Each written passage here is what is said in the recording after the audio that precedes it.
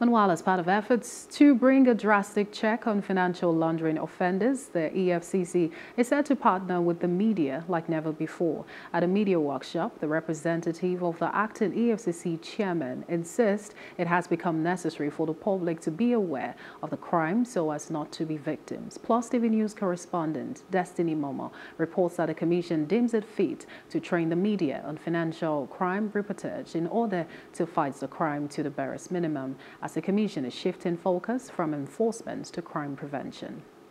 of the uh, Commission to sponsor this workshop underscores the importance which it attaches to the role of the media in the fight against economic and financial crimes, including corruption.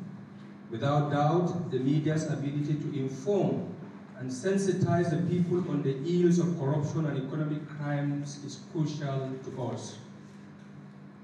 All over the world, the watchdog role of the media promotes transparent and accountable leadership. In the particular instance of the EFCC, media has proven to be a critical stakeholder and ally in the difficult task of sanitizing our environment. This partnership is functional and rewarding. We can only wish that the synergy gets stronger and stronger. The focus of the EFCC currently is shifting away from enforcement to prevention. Mm. Yeah. And in preventing financial and economic crime, we believe that the media represents a very critical ally. Absolutely. And that is why we are here today to share knowledge and see how the media can help us in preventing, especially money laundering. I will be surprised, or I will not be surprised, that even some of us here may not even have been aware about the activities of school. Or the number of designated non-financial institutions that have reporting obligation to that agency. And the onus is now on us as journalists to inform the people so that people can be aware of the duty of these bodies. Speakers at the workshop gave an expose on financial crimes, investigative reporting and cybercrime. They informed that transactions from 5 million naira and above should be reported to the Commission. The law requires that within seven days of doing any transaction, conclusion of any transaction with anybody that falls within this category, that is say maybe the transaction you have done with the person is over 5 million. Yes. It's over 10 million you are required to report it to NFI. That's why you need to get the particulars of those people dealing with business to their name, their address, possibly their phone number, so that you fill in the form and send it to, uh, to the EFCC through their Because when you send it to us, our school department will analyze it and begin to follow up on that person. You are not reporting your customer. You are just complying with the law.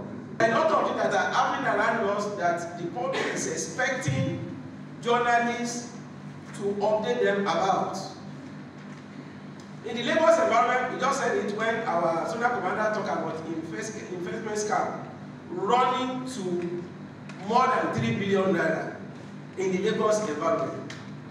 Now, the so-called investment scam that is taking the money of everybody Why is it that we have not taken time to investigate some of these investments?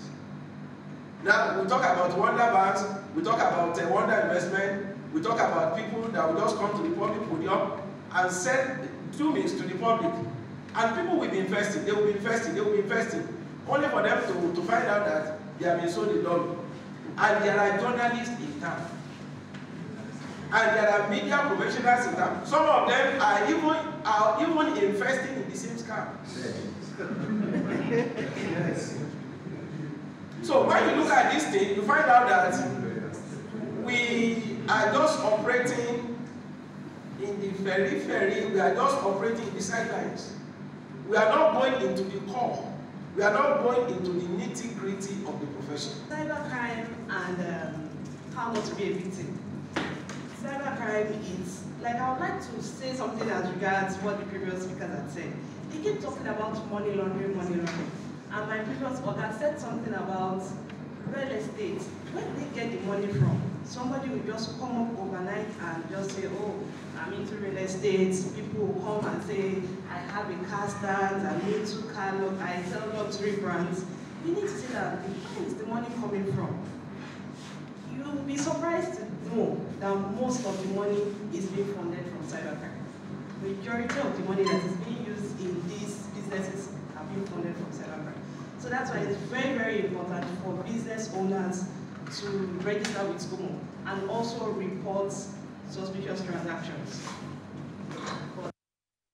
Hello, hope you enjoyed the news. Please do subscribe to our YouTube channel and don't forget to hit the notification button so you get notified about fresh news updates.